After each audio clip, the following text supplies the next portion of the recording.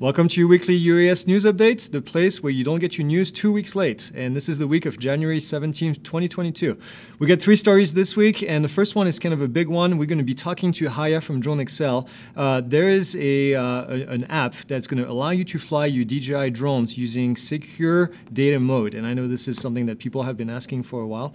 Uh, the second story this week is what I'm going to call the Don't Be That Guy segment. Yet again, one more time, this is the Bengals edition. I'm sure you've seen the video, but we'll talk a little bit more about this. And then lastly, we'll talk about a drone that uh, folds itself while it flies. This is really cool technology. Just a research project at the moment, but let's get to it.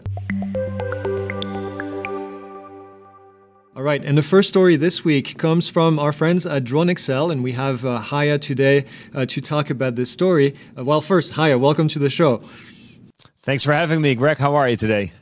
Doing great. It's always great to have you on the show. I know I talk to you every week on the PIXL, but I always appreciate having you on uh, on on Pilot Institute as well. Um, there is uh, you covered the story on DroneXL about the software in the Netherlands that allows people to fly their drones without the fear of having any data going back to China. So, can you tell us a little bit more about how this works, and then we're going to talk about what impact this could have in the United States. Yeah, for sure.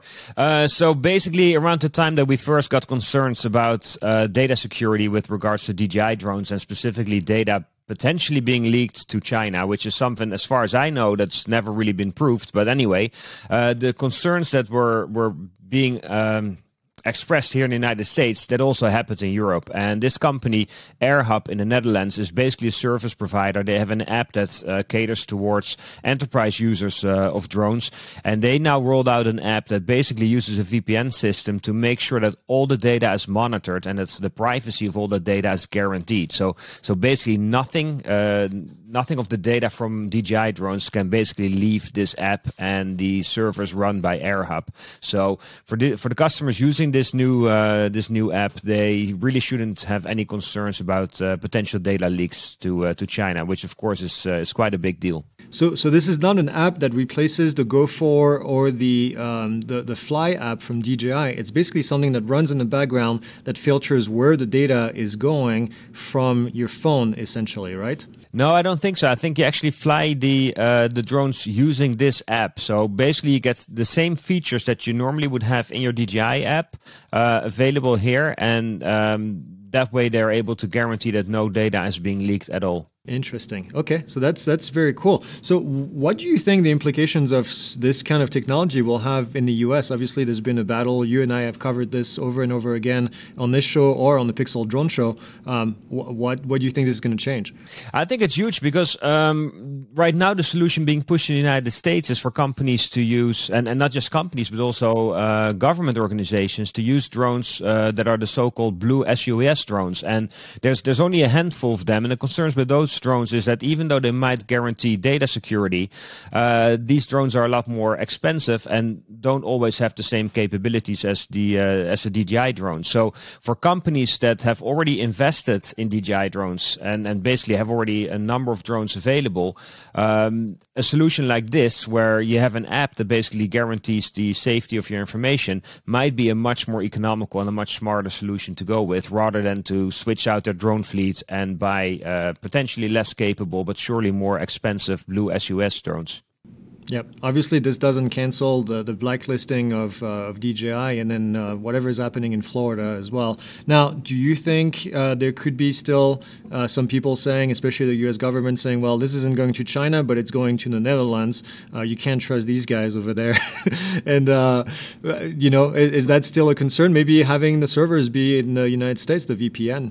Uh, I think that might be a concern. Um, I believe right now that uh, customers in the United States could already start using this app as well. But if, let's say, the concern is that data needs to stay within the United States, uh, I don't know if that's an uh, if that's an option that AirHub uh, currently makes available.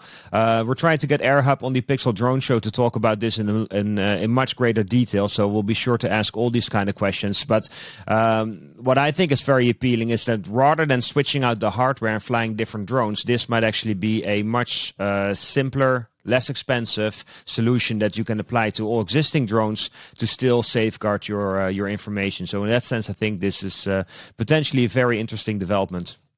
Yep. I agree, absolutely. Well, Haye, as always, thank you. Uh, for those of you, if you want to read the article, we'll put a link down here. Uh, head over to dronexl.co if you want to get uh, the latest news. I know we get all pretty much all of our information from there uh, every single week when you do this uh, this news update. So, Haye, thanks for being on the show, and we'll see you next time. Sounds good. Thank you, Greg.